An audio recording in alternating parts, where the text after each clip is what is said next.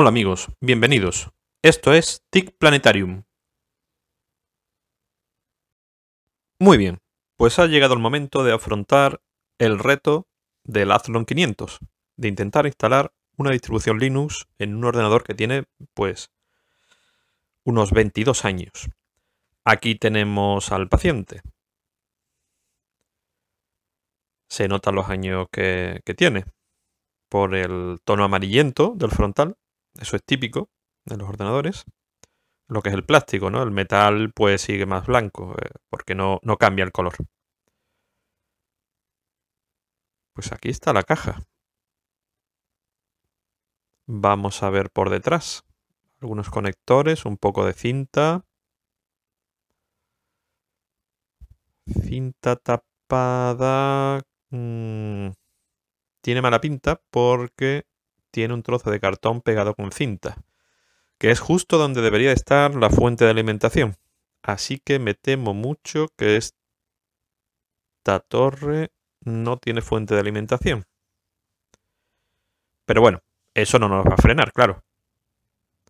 De hecho, estará bien. Así hacemos más cosas, aparte de ver la distribución. Lo primero vamos a abrirlo para comprobar que efectivamente pues no tiene fuente de alimentación, ¿no? Estos ordenadores que son más antiguos, la verdad es que son más difíciles de abrir, porque no se abren por un solo lateral, sino que es una... El metal cubre izquierda, derecha y arriba. Es toda una pieza. Vamos abriendo y efectivamente ahí vemos el hueco. Ahí es donde debería estar la fuente de alimentación. No tiene fuente de alimentación. Y por ahí vemos ya la CPU AMD Athlon. Ahí lo tenemos. Vamos a abrirlo bien. ¡Qué maravilla! Fijaros qué extraño es. Eh, no tenemos ni ventilador para la CPU. Es curioso, ¿eh?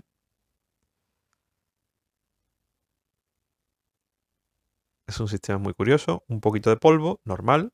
Pero vamos, está bastante limpio para los años que tiene. Dos unidades ópticas, su cableado IDE, su disquetera,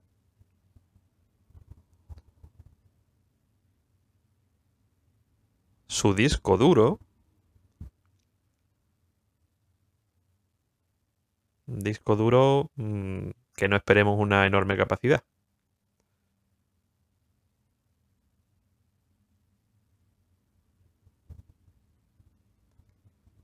Muy bien.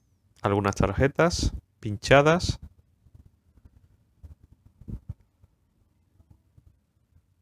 Buses PCI. Bueno, pues lo primero que tenemos que hacer es eh, instalarle al paciente una fuente de alimentación. Si no, no, no podremos arrancarlo ni instalar ninguna distribución. Esto es un proceso que no es difícil. Y tampoco quiero los vídeos muy largos, así que yo mismo lo instalaré. Y ya está. El disco duro. Pues el disco duro que tenemos es un Seagate de 10 GB. Sí, 10 GB, efectivamente. Algunos tendréis teléfonos móviles con más RAM, con más RAM que la capacidad de disco duro de este PC.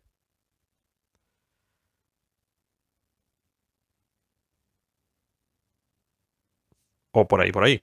Muchos tendréis móviles de 8 GB, 6, 8, incluso 10 GB, ¿eh? podéis tener perfectamente. Aquí está el módulo de memoria de 256 megas, que ya avanzo que he tenido muchísimos problemas con los módulos de memoria, porque intenté ampliarlo y ha sido un infierno, no tengo otra palabra. Un infierno y bueno, este vídeo está muy resumido. Bueno, la tarjeta Nvidia. Creo que es un modelo, el modelo 256 de Nvidia. una GeForce 256, si no recuerdo mal. Este ordenador ha necesitado cerca de tres días de trabajo por problemas de hardware. Bueno, una vez que ya está instalada la, eh, lo que es la fuente de alimentación, lo he encendido y lo primero que tenemos es un Windows XP. Pero es un Windows XP especial, una versión para bajos recursos que, existe por ahí. La verdad es que me sorprende lo bien que va, porque va muy fluido. De hecho, va más fluido este Windows XP en un Athlon 500 que Windows 10 en, mi, en un i7 que tengo. Los menús son súper rápidos. Es increíble. Y es que muchas veces el problema no es el hardware que tenemos, es los sistemas operativos que, son muy lentos. No están optimizados o, o, lo que sea, pero es que fijaros, un ordenador con 256 megas de RAM a 500 MHz y cómo abre las ventanas, ¿eh? Y cómo se despliegan los menús. No sé. Me podéis poner en, en los comentarios qué opináis, ¿eh? Porque desde luego es para reflexionar un poco estas cosas. Fijaros, es que abre las ventanas como el rayo.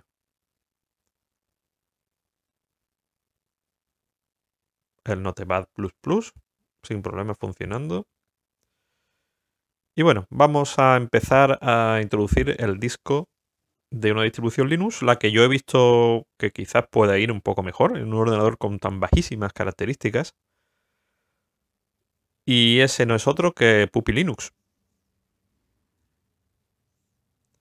Vemos como la unidad de DVD está trabajando y leyendo lo que es la distribución en DVD.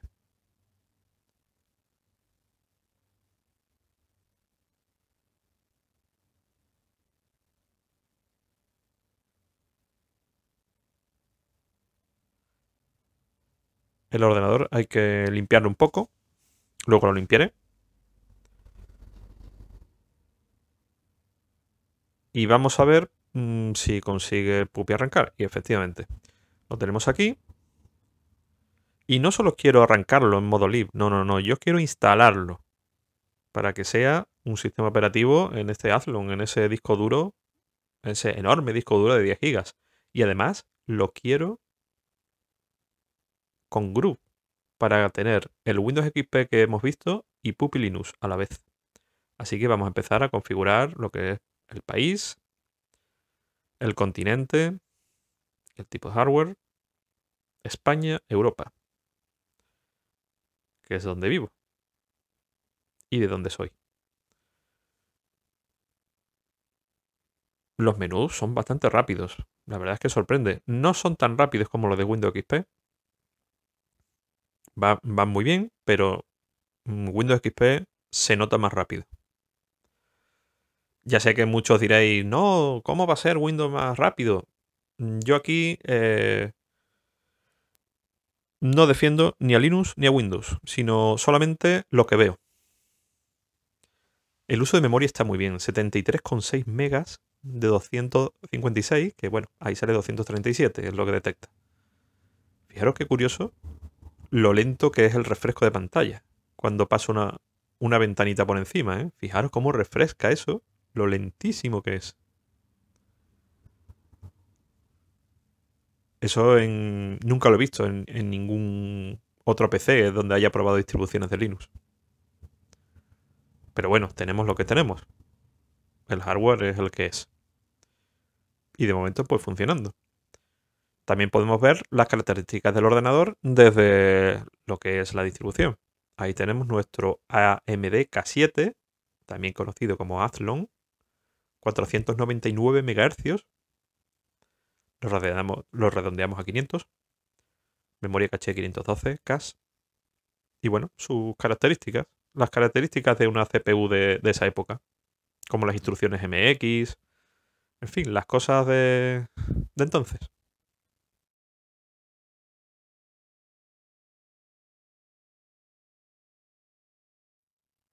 Puedo abrir este procesador de textos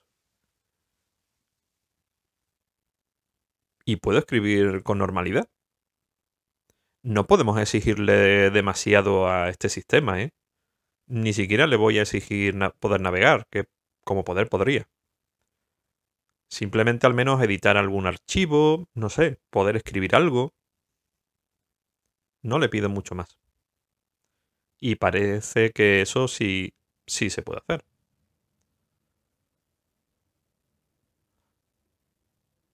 Voy a ir abriendo ventanas, a ver qué sale, a ver la velocidad.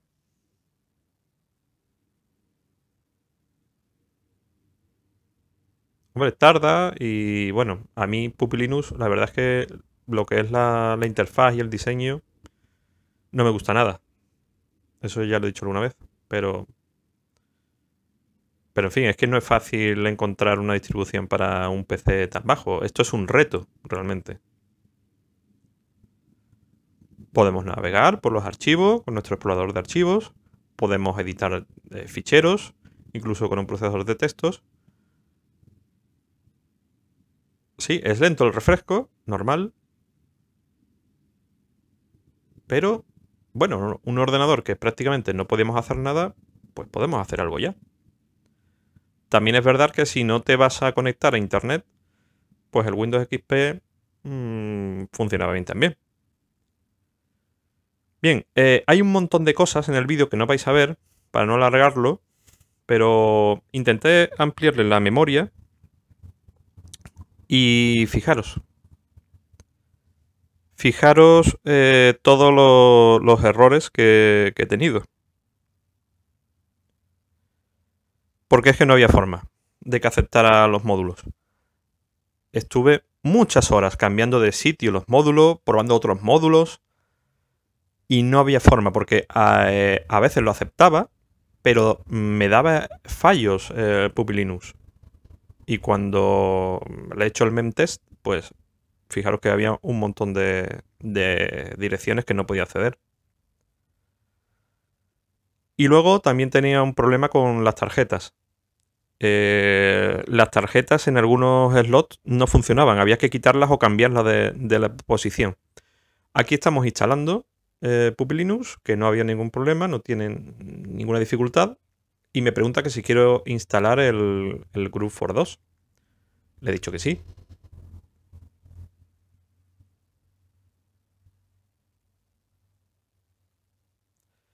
El group hay que instalarlo en el disco duro, no en el floppy disk.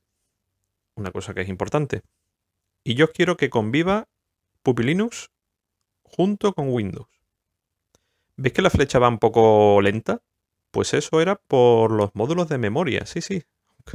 Aunque sea increíble de, comprender, por los módulos de memoria iba lento la flecha. Cuando por fin le puse unos módulos que mm, no daban errores, la flecha ya iba más suave. Pero bueno, instalé la distribución igualmente. No tiene ninguna dificultad.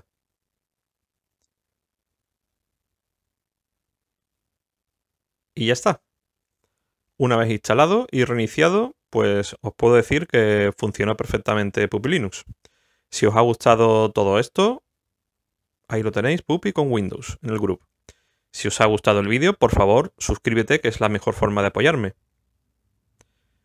Os espero en los comentarios. Muchas gracias por ver el vídeo, un saludo y hasta luego.